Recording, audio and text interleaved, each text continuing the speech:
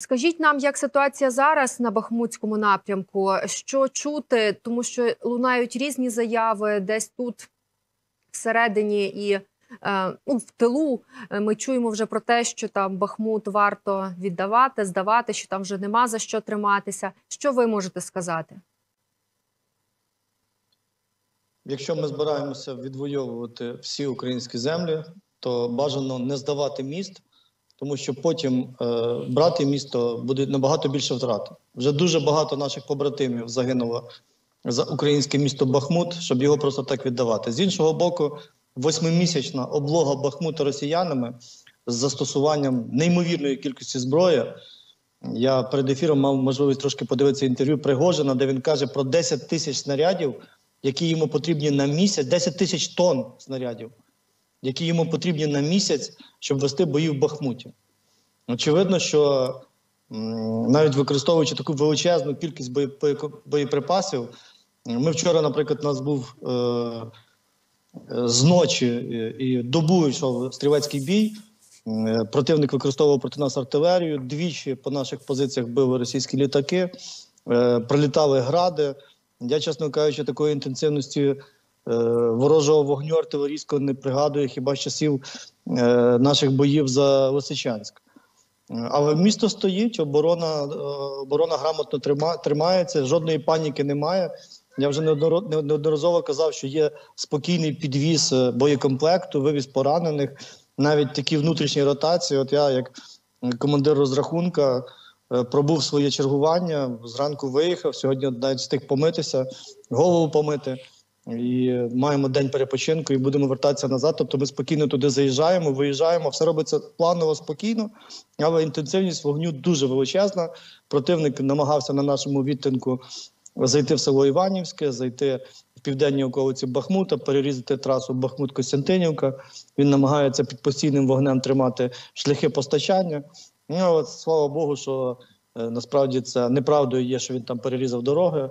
Є не одна дорога, крім асфальтних доріг, якими ризиковано ми користаємося. Є ще ґрунтові дороги.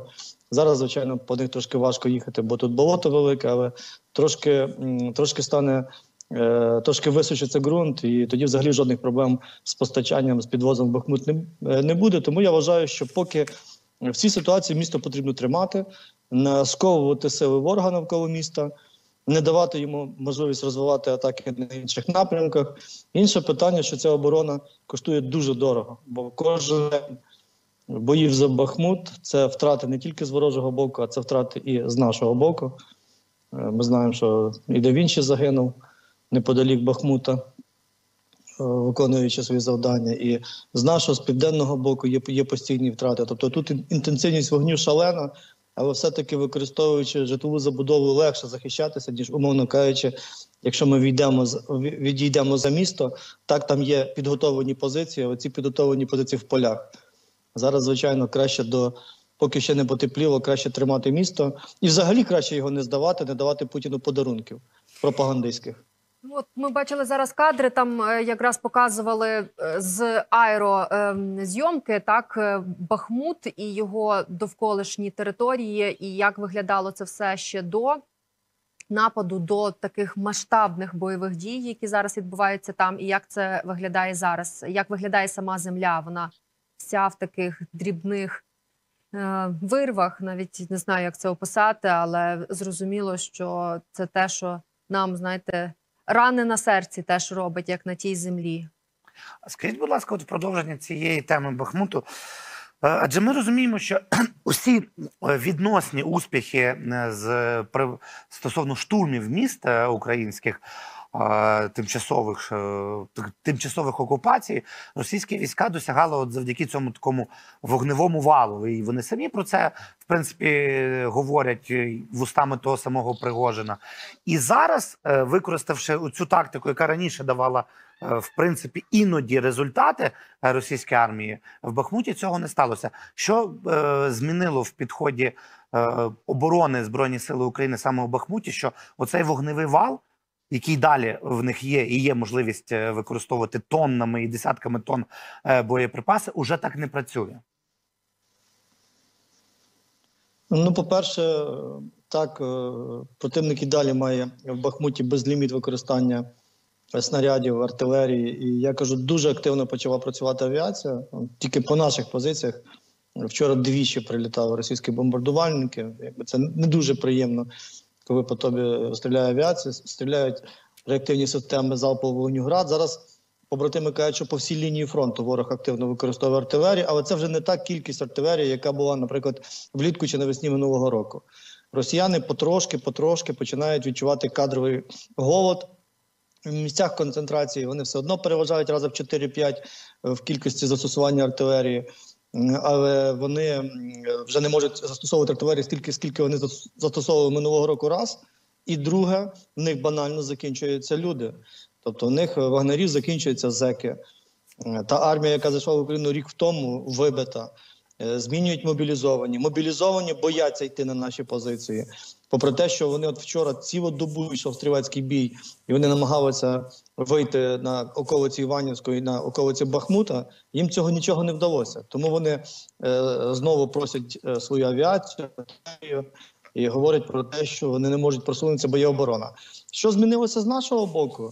Ну, ми вже навчилися воювати в таких умовах. Вже немає, немає паніки, немає страху. Тобто є розуміння, що ти маєш робити. Кожен розуміє свою роботу, кожен знає, знає свої завдання.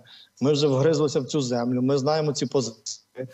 Ми якби е, воюємо по-сучасному. Тобто є і е, очі, тобто є дрони, які спостерігають, є камери, є обмін інформацією. Я, як гранатометник, можу не бачити ворога е, в приціл чи в бінокль, але я знаю, де він знаходиться. Я знаю на на якій точці на карті, де він знаходиться, як на нього навестися, як його вразити. Е, Наші е, коптери, якщо при потребі, скоригують наш вогонь. Тому е, ворог стикнувся з тим, що українська армія за цей рік стала набагато зубатішою, стала професійнішою. У нас все більше і більше західної зброї. У нас нарешті з'явилися БТР. У нас по техніці ми так їм ще уступаємо, але ж не так сильно.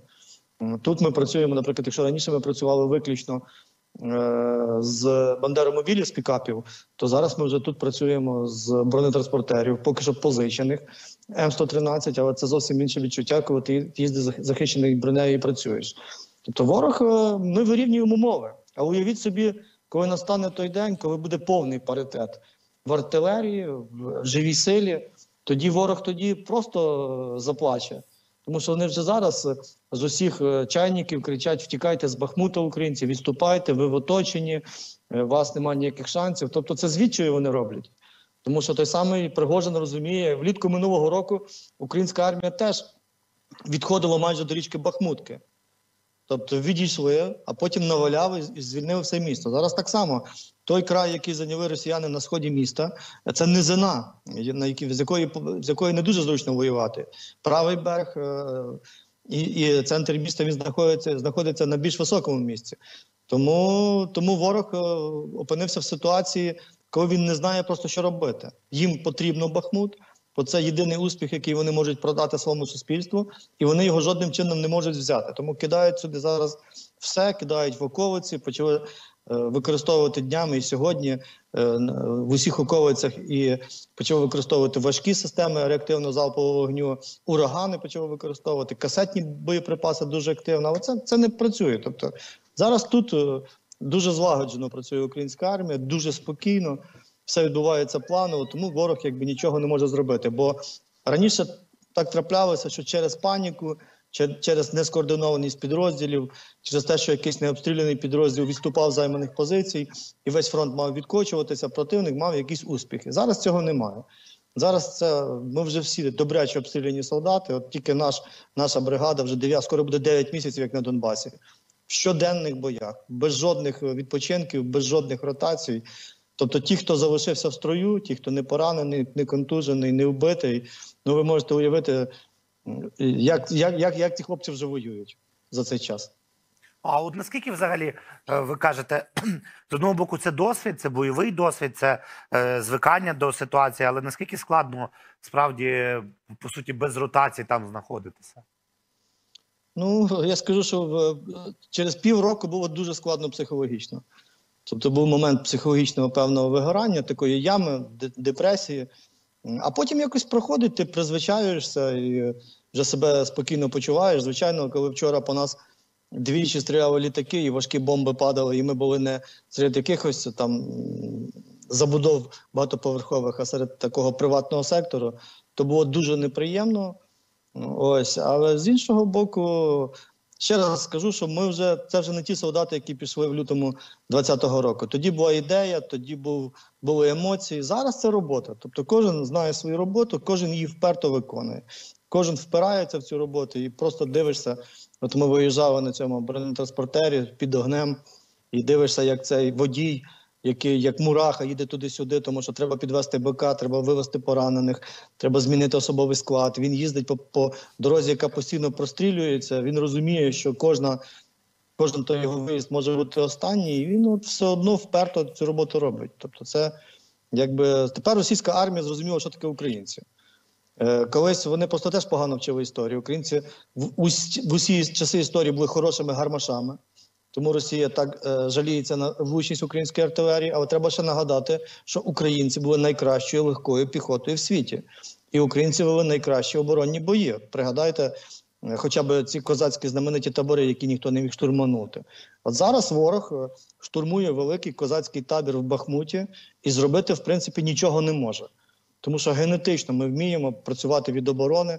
Генетично українці хороша піхота. Багато кому це вже подобається. Хлопці бігають, полюють е, з ПЗРК, щоб якогось там танка вальцанути, чи щоб по літаку встрелити. Тобто з'явився якийсь певний азарт, з'являється злість, е, е, бажання помсти, коли ти бачиш, що молоді побратими гинуть. І от весь цей набір, плюс якби грамотні дії керівництва ведуть до того, що за ці восьмимісячні бої за місто Бахмут ворогу в принципі нічого не вдалося.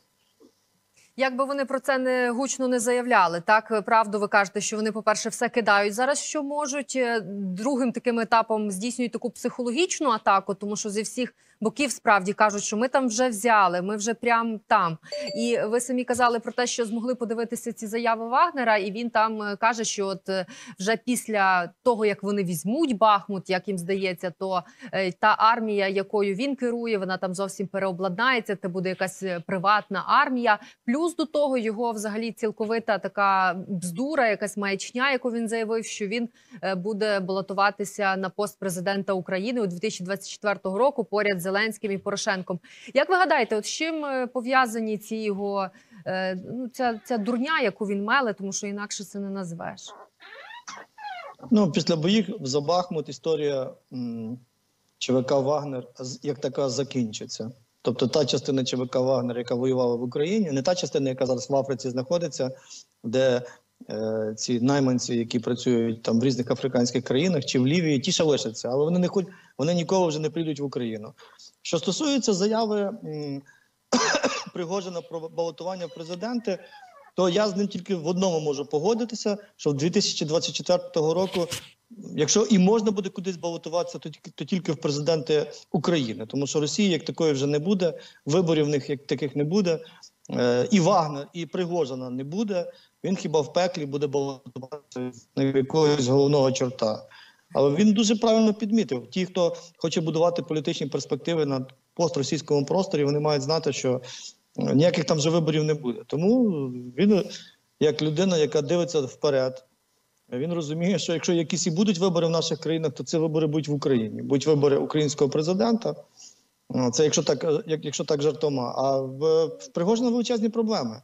Я думаю, він пообіцяв Путіну, що він візьме Бахмут. Він цим сильно бахвалився. Він отримав все, що було потрібно. Це єдине ПВК, напевно, що в світі, яка має авіацію, яка має артилерію, яка від, відкриває двері ногами будь-якого кабінету. Е, його високо піднесли, і тепер з нього за це все спитають. А він зараз розуміє, що жодних шансів щось здобути в нього в нього просто немає. І е, я, я, я кажу ще раз: зверніть увагу, от мене е, я звернув увагу на ту цифру: 10 тисяч тонн боєприпасів в місяць. Тут немає жодного метра квадратного землі, на якому немає або вирви, з якого не стачить градина, чи на якому не валяються осколки. Тут немає жодного будинку, не враженого осколками. Тобто вони кинули сюди просто величезну кількість боєприпасів і нічого не досягли.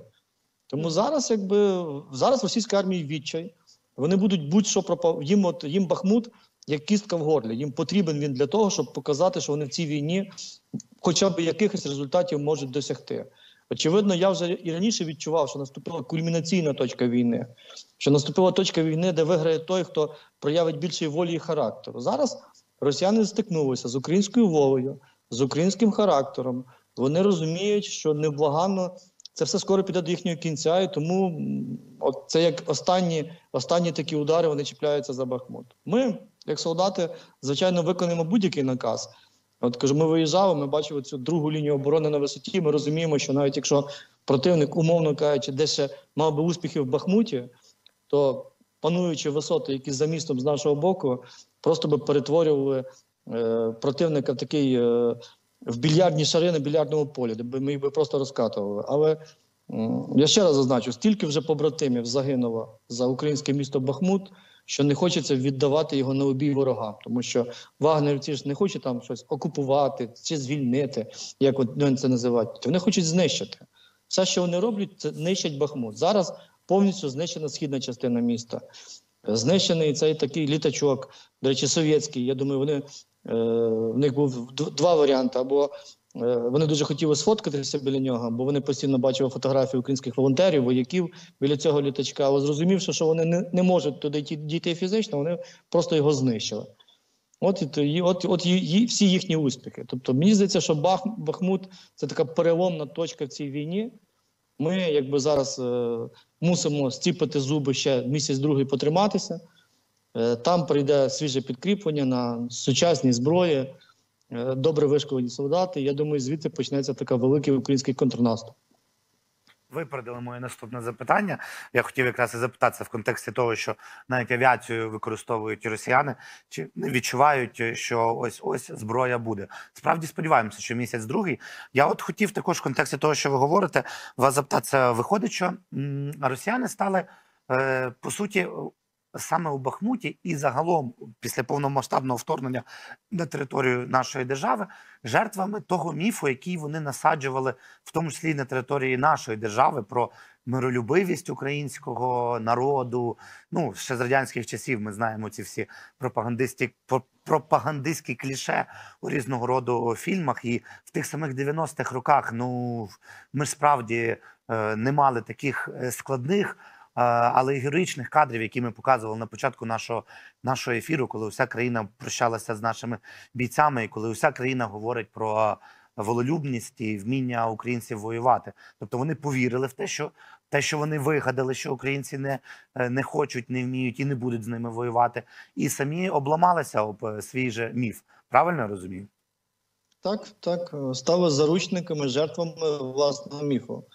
Е, Взагалі, треба, якби ця війна нагадує нам, що ми велика козацька нація, що ми тисячі років жили на землі, на яку щороку приходили орди, вороги зі сходу, з заходу, е, з півдня. І ми виживали в цих умовах, і нам це подобалося. Тобто зараз ще буде е, такою ситуацією, що значна частина українців на цій війні покозачиться. І після війни вони вернуться додому. І вони вже не захочуть жити кріпаками в державі Ахметова, Коломойського, в державі суддівського чи прокурорського свавілля. І до цього е, треба, щоб е, міфи не плекала ще одна сторона е, російських агентів в Україні, казнокрадів, чиновників, ті, які звикли брехати, красти, піаром купляти голоси. Якщо після 2014 року е, добровольчий рух, до якого, до речі, там Вінчі належав, ми всі були тоді добровольцями такими запорізькими козаками, нереєстровими.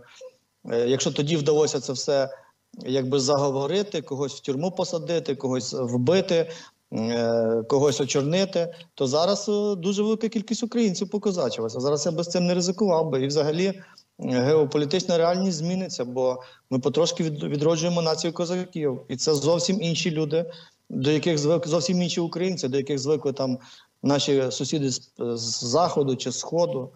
Ви згадайте, перша риторика вагнерівців. Українці з цикуни, ми тільки прийдемо, вони будуть втікати, плакати і так далі. Що вони зараз кажуть? Що українці б'ються за кожен будинок, що це дуже непросто, що вони дуже серйозні воїни, дайте нам артилерії. Тобто вони навіть не готові. Е, Раніше вони казали, що ми не, терп, не терпимо стрілецького удару, що щойно вони підходять на відстань прямого контактного бою, як ми втікаємо. Зараз вони не хочуть приходити на відстань контактного бою. Вони просять артилерію, артилерію, далекобійну артилерію. Вони почали застосовувати важкі системи реактивних реактивно залпового вогню, і все одно в них нічого не виходить.